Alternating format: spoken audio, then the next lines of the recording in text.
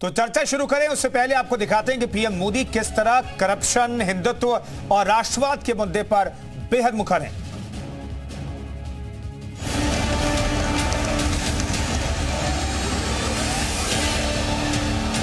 भाइयों, बहनों, मेरा मंत्र है, न खाता हूँ, न खाने दूँगा।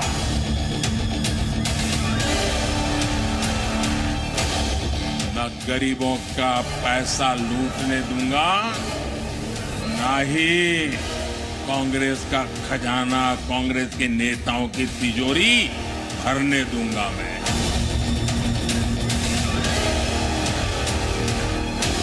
तब श्रेय कभी नहीं लिया गया सर्जिकल स्ट्राइक तो बहुत लगातार हुई। आप स्वयं ऐसे बने कि आपके काम की विपक्ष स्वयं तारीफ़ करे, जैसे अटल जी ने इंदिरा गांधी की की थी। आप तो अपने आप ही शुरू रहते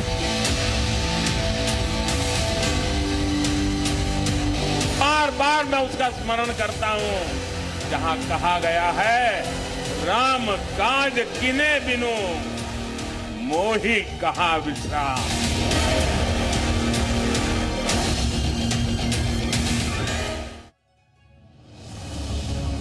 तो इसी मसले से जुड़े हुए कुछ अहम सवाल हैं उससे हम आपके सामने रखना चाहते हैं। फिर आप चर्चा की शुरुआत करेंगे, तमाम मेहमान हमारे साथ जुड़ रहे हैं। हिंदुत्व तो राष्ट्रवाद को धार विपक्ष के पास कौन सा हथियार है? ये अपने आप में ये बड़ा सवाल है। इसके अलावा तीन राज्य हर वर्ग को कमान और ध्वस्त हुआ विपक्ष का तमाम एजेंडा जो है, वो पूरी तरीके से ध्वस्त दिखाई दिया है। ऐसे में बड़ा सवाल है कि विपक्ष के पास दरअसल हथियार कौन सा है, जो इस तरीके से, जो अग्रेसिव तरीके से बीजेपी चुनाव की तैयारियों में दिखाई दे रही है, इसकी काट दरअसल है क्या विपक्ष के पास। ये तमाम मेहमान भी हमारे साथ जुड़ रहे हैं, उनसे हम चर्चा करेंगे। इन तमाम सवालों के इर्द गिर्द हमारी चर्चा रहेगी। तो अब सवाल के बाद हम आपको अब गेस्ट से तारुफ करा देते हैं। आलोक अवस्थी हमारे साथ प्रवक्ता बीजेपी के मौजूद हैं। तारिक खान हमारे साथ प्रवक्ता, समाजवादी पार्टी के मौजूद हैं। पुनीत पाठक हमारे साथ प्रवक्ता, कांग्रेस के मौजूद हैं। और राजीव रंजन, राजनीतिक विश्लेषक हमारे साथ मौजूद हैं। लेकिन पहला सवाल मैं राजीव जी से आज शुरुआत करना चाहता हूँ। पॉलिटिकल रिएक्शन से पहले मैं राजीव जी से। राजीव जी, ये ये जो अग्रेसिव बीजेपी दिखाई दे रही है हर एक मुद्दे पर, ऐसा लग रहा है क्या कम से कम विपक्ष के पास अभी कोई ऐसा एजेंडा है? जिससे इन मसलों को कुंद किया जा सके जिस तरीके से बीजेपी अग्रेसिव प्रचार में अब जुट गई एक तरीके से चुनाव तैयारी में। देखिए बीजेपी का अग्रेसन बीजेपी की संगठनात्मक गतिविधियाँ इसके आगे कम से कम आज क्रिकेट में तो विपक्ष के पास कोई मुद्दा नहीं दिखता है। आप अगर पिछले छह महीने को देखिए तो जाति जनगणना को इतना बड़ा मुद्दा बनाया जैसे ये लगा कि जाति जनगणना करा के और पिछड़ी जातियों को सनातन को, को गोलबंद करके सनातन के खिलाफ बोल के एक पूरा ऐसा माहौल खड़ा करेंगे कि इसमें बीजेपी फंसी नज़र आएगी। लेकिन भारतीय जनता पार्टी ने क्या किया? संगठनात्मक स्तर पर अपने हिसाब से काम किया। जिन जिन राज्यों में चुनाव से वहाँ चुनाव पर फोकस किया। और फोकस करने के बाद जब चुनाव का परिणाम आया तो परिणाम ऐसा आया कि विपक्ष देखता ही रह गया। एक राज्य मध्य प्रदेश का राज्य जहाँ पे भी पिछले 20 सालों से उनकी सरकार थी वहाँ पे 110-15 से सीधे सीधे 160 सीटें पहुँच जाना। छत्तीसगढ़ जैसे राज्य में जहाँ की कोई नहीं कहता था कि बीजेपी की सरकार लौट के आएगी जी। वहाँ पे इतने बड़े बहुमत से सरकार राजस्थान में वसुंधरा जी ने विरोध किया अंदर अंदर उसके बावजूद सरकार। तो भारतीय जनता पार्टी अपने मिशन पर कायम है और जैसे सरकार बनी जैसे ही पार्टी चुनाव जीती चीफ मिनिस्टर का जो सिलेक्शन किया जी ऐसा सिलेक्शन किया कि विपक्ष बिल्कुल मुँह के बल गिर गया। ठीक है राजीव जी, मैं लौटता हूँ आपके पास विपक्ष मुख्य बल गिरता हुआ दिखाई दे रहा लेकिन अखिलेश यादव ने दूसरे तरीके से इस बदलाव को देखा है। आलोक अवस्थी साहब, ऐसा हम लोग कह रहे थे, चर्चा कर रहे थे, भाई, ये पाँच राज्यों का चुनाव जो है, वो सेमीफाइनल है। तो सेमीफाइनल के ज़रिए फाइनल को साधने की कोशिश आप लोगों की दिखाई दे रही है। जिस तरीके से मुख्यमंत्री के नामों को तय किया, जितनी बड़ी जीत आप लोगों ने तय की तो क्या ये सेमीफाइनल जीत करके फाइनल में बहुत ग्रैंड एंट्री हुई आपकी? और उसके लिए तैयारी ज़बरदस्त है आप लोगों की? देखिए यह जब आप निरंतर जनता के हित के लिए काम करते रहेंगे तो कोई फाइनल और सेमीफाइनल नहीं होता है। वहाँ पर आप हम निरंतरता में काम कर रहे हैं। जी। भारतीय जनता पार्टी में किसी भी कार्यकर्ता को सर्वोच्च पद प्राप्त करने के लिए कोई कठिनाई नहीं है रास्ता खुला हुआ है। लेकिन जो सामंतशाही पार्टी परिवारवादी पार्टी है वहाँ सर्वोच्च पद आरक्षित है। परिवार के लिए, परिवार का मुखिया या परिवार का बेटा। उसके अलावा किसी कार्यकर्ता के लिए वहाँ पर कोई मौका नहीं है।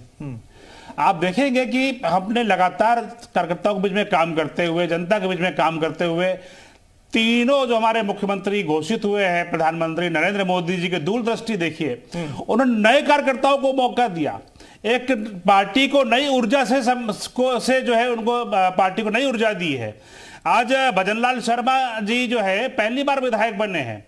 पार्टी के महामंत्री थे लगातार काम कर रहे थे और उनको मुख्यमंत्री पद का को दिया है। आप मध्य प्रदेश में देख लीजिए डॉक्टर मोहन यादव यहाँ पर खाली अखिलेश यादव चर्चा करते हैं मुलायम सिंह के बाद अखिलेश यादव उनके बाद उनका परिवार। हम्म। लालू यादव के बाद लालू के बाद तेजस्वी उनका परिवार।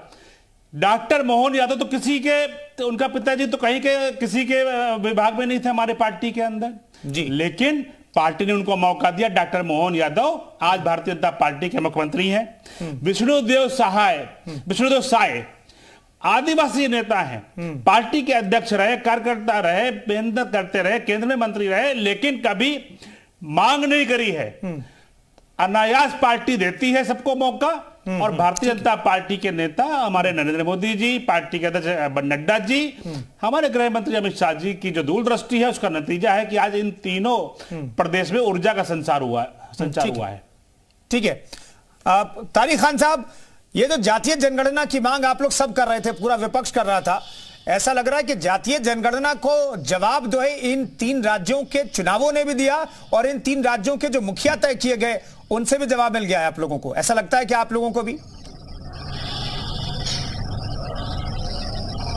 नहीं, देखिए मैं तो सीधा सा एक बात कहता हूँ, एक बात समझने की कोशिश करिए कि 30 नवंबर को प्रधानमंत्री ने कहा कि देश में सिर्फ़ चार जातियाँ गरीब युवा महिला किसान। बाकी धर्म पे आधारित है लेकिन बोलता उन्होंने कहा कि ये चार जातियाँ ठीक है मान लिया यही लोग चार जातियाँ तो आपने शर्मा जी को बनाया यादव जी साहब को बनाया मतलब फॉरवर्ड एक बैकवर्ड और एक एस सी एस टी बनाकर क्या साबित करना चाहते हैं? जब जातियाँ चार महिला युवा गरीब किसान तो ये एसटी बनाकर क्या साबित करना चाहते हैं? क्यों छाती पीटी जा रही है? यादव बना दिया यादव बना दिया। क्या ये पहला यादव है? तो बाबूलाल मरांडी बाबूलाल गौड़। कौन थे फिर? वो भी यादव थे। वो कौन थे? वो भी तो बनाया था आपने यादव थे, वहाँ के एमपी के मुख्यमंत्री रहे। एक साल तक लगभग रहे। खैर, मैं ये कह रहा हूँ कि जब जातियाँ चार, महिला गरीब, किसान, मजदूर, गरीब, यही लोग प्रधानमंत्री ने कहा, इसको और इंगित करके कहा कि मेरे लिए जातियों की परिभाषा ये है कि जो किसान है जो गरीब है वही जाति और कोई जातियाँ नहीं है। नहीं तारिक साहब नहीं नहीं तारिक साहब तो अगर वो चार जातियाँ बताते हैं तो भी आपको आपत्ति है। आपके हिसाब से वो भागीदारी दे रहे हैं तब भी आपको आपत्ति है। सर दिक्कत क्या है? तारिक खान साहब दरअसल आप लोग कहते हैं कि भाई जिसकी जितनी हिस्सेदारी उतनी उतना हक उसको मिलना चाहिए। जिसकी जितनी संख्या उतनी हिस्सेदारी। मैं अपनी बात रख लू मेरी मेरी एक बात मैं मैं छोटी सी एक बात कह दू। हम्म। ये क्यों चिल्लाया जा रहा है? यादव को बना दिया। आप उनके डॉक्टर होने पे वो करिए कि एक अच्छा डॉक्टर है शायद जो यादव जी हैं जो एमपी में बनाया। डॉक्टर को बनाया रहे हैं। मैं कह रहा हूँ स्ट्रेस यादव पे क्यों है इतना? क्यों यादव पे? जब हम कहते हैं कि हम मध्य प्रदेश में जब टिकट देंगे तो महिलाओं को खूब ज़्यादा टिकट देंगे। तो आप कहते हैं उत्तर प्रदेश में दो ना? तो यादव उत्तर प्रदेश में बनाओ मध्य प्रदेश में क्यों बना रहे हैं? यहाँ सबसे ज़्यादा यादव है बिहार में और उत्तर प्रदेश में। सबसे ज़्यादा यहाँ बनाइए ना डिप्टी सीएम बनाया आपने यादव की बहुत बात करते हैं आप। प्रधानमंत्री अपनी कई हुई बातों को भूल जाते हैं। जब जातियों का कोई महत्व है नहीं तो इन जातियों को खत्म कर दीजिए। मंडल कमीशन की रिपोर्ट भी आप खत्म करना चाहते हैं। मैं तो यही कहता हूँ कि मंडल कमीशन की सिफारिशों को नरेंद्र मोदी खत्म करना चाहते हैं। अगर ये हिम्मत है तो चैनल पे कहें कि महिलाएँ कि ओबीसी यादव कोई जाति नहीं है। अदर बैकवर्ड कास्ट कुछ ठीक है तारिक तारिक साहब आलोक आलोक अवस्थी आलोक अवस्थी छोटा जवाब। आलोक आलोक अवस्थी साहब जल्दी जवाब दे लीजिए। हाँ हाँ मैं बहुत छोटा सा जवाब दूँगा। हम्म।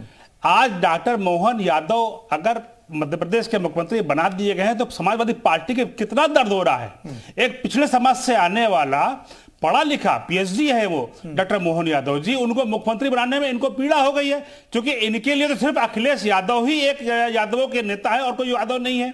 तो मुझे लगता है कि जिस तरीके से जातियों में बांट करके देखना चाह रहे हैं हमारा जो व्यवस्था है कोई ना कोई किसी ना किसी जाति से आता है तो जो भी बनेगा उसकी कोई ना कोई जाति होगी। आप ये देखिए कि वो समर्पित कार्यकर्ता है नए कार्यकर्ताओं का मौका मिला। जी, एक नई ऊर्जा के से हम काम कर रहे हैं। इसमें समाजवादी पार्टी के प्रवक्ता को पेट में दर्द क्यों हो रहा है कि एक आदिवासी को बनाया गया, एक यादव को बनाया गया, एक ब्राह्मण को बनाया गया? क्यों दर्द हो रहा है? क्यों दुश्मन बने हुए हैं ये आदिवासियों के एसटी समुदाय के और जो है यादव समुदाय के लिए? क्यों दुश्मन बने हुए हैं? पूछिए इनसे। ठीक है, पुनीत पाठक साहब, कांग्रेस को तो कोई दिक्कत नहीं है, क्योंकि सोशल इंजीनियरिंग का फॉर्मूला जो पेश किया बीजेपी ने, तीन राज्यों के नतीजों के बाद, सोशल इंजीनियरिंग के मैं कहूँगा, क्योंकि आप लोग बहुत जातिगत जनगणना की मांग कर रहे थे तो बीजेपी ने शायद वो भी दिमाग में रखा है कि भाई, आपकी जातिगत जनगणना की मांग का जवाब दिया जाए। इसे लगता है कि तीन राज्यों को जो मुख्यमंत्री तय किए गए उसी आधार पर जवाब मिला है।